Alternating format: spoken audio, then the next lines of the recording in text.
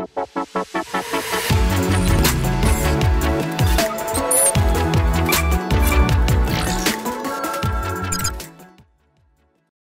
right, so I want to continue um, where I left off. This time, we're going to load in images.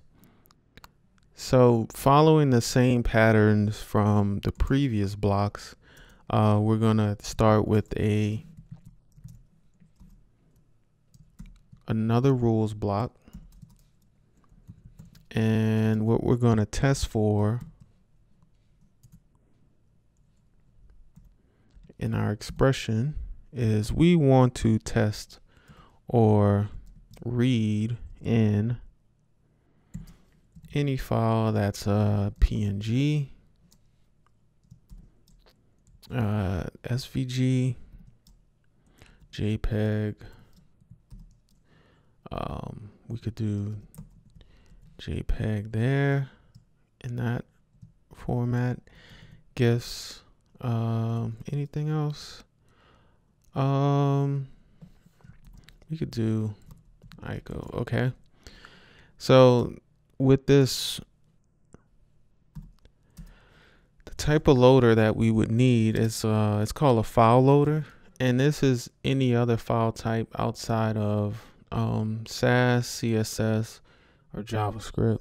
Um, this could even be uh, PDFs, um, TXTs, um, out of the box, Webpack will read um, JSON files also. So what we need to do is install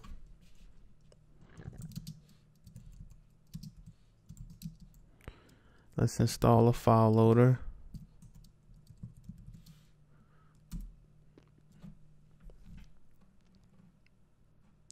And any file that we import into Webpack is a module. So we're going to treat this image as if it's um, a module. So what I want to do is I want to go image require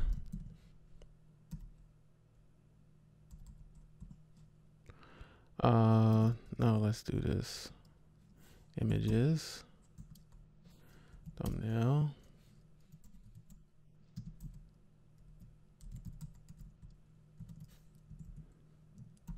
All right, let's see.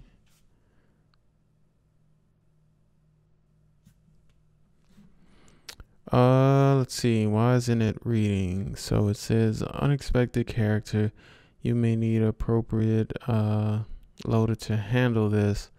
All right, so if we go to guides and we go to asset management, this should give us the correct way to load. All right, so did I add my use? Oh, I didn't save it.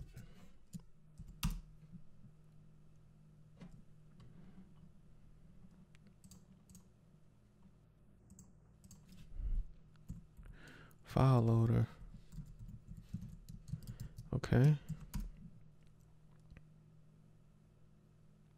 All right. And so it's going to build it out as a hash image. And it's only going to be read like this uh, from this uh, bundle file. So if we went and looked for this file with, within our bundle, we'll be able to show that it's being read in. See there? Line 97. So we go back to our um, execution, and then this shows how everything's being executed within our dependency graph. So we have our hashed image here. We also have our um, our built out style sheet, and then our bundle file here. And then it shows its sizes here. So it's it's looking good so far. Um, let's go back. And what I want to do now is I want to um, see, um, and this is just for um, the purpose of seeing what our our um, build actually looks like as far as the style sheet goes, the image. We want to uh, ensure that this bundle file can actually build out or render out um, everything that's being built within our distribution folder. So to do that, we'll need to use the HTML plugin, which is here. And so let me uh, add that.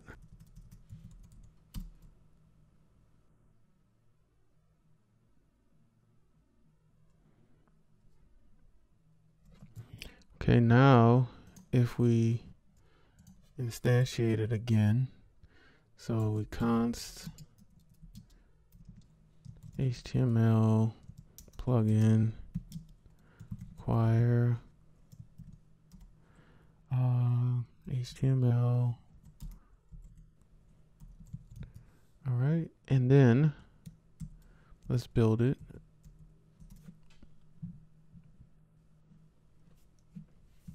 Okay. And so it's referencing our CSS, right? And then it's also referencing our bundle. So let's just say we decide to drop this in.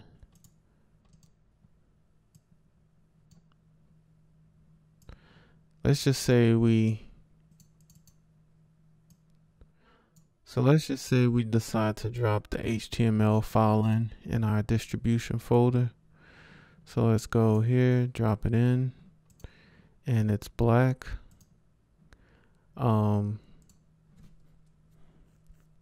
let's do this. Let's do F6 build.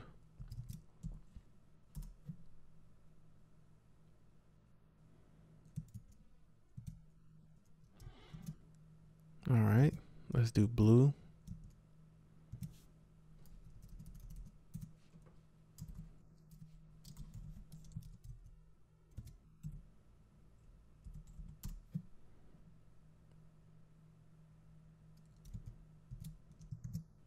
Okay. So it looks like everything's working here now. Um, there's also uh, the web server that we can use to run this. Let me go back to see what like a server. I call this server. So this should run our web server for this on port 80. So let's just do this. Let's copy because I want to run it directly from the command line. Let's just do that. Boom. So then if we want to change this, let's just go back to our previous color, right? We build it and then there it is. We could do, I don't know, um, do uh yellow. There it is. Okay. So it looks like we have our style sheets and everything loading uh, correctly. If we decided to use this, let's say as um, or for um, a web application or a JavaScript application, whatever, um, we can actually see that everything's loading the way it should. If we decided to, let's say we wanted to run an alert on this, let's just do an alert.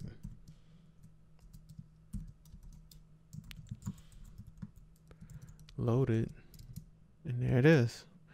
Okay. So um, that's it for uh, compiling or building our style sheets uh, uh, through the through the the Sass loader and then also um, loading our uh, images. So in the next video, I'm going to continue on with the file loader and then I'm going to also uh, dive into some dev options that we can add to this configuration file. So if you like this content that I just shared, please subscribe to this channel. Go ahead and hit that notification button while you're at it so you could actually be notified when I post my next video.